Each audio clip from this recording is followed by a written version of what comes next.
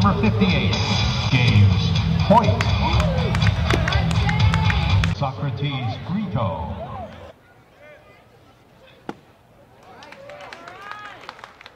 He's unbelievable. And there's no other word to describe it. He's the best. He's probably one of the most. He's very challenging to catch, but he's probably one of the best pitchers I've ever caught. So everything he throws is hard. His splitters 90 miles an hour. His sliders 88, 90 miles an hour. His fastball's 94, 97.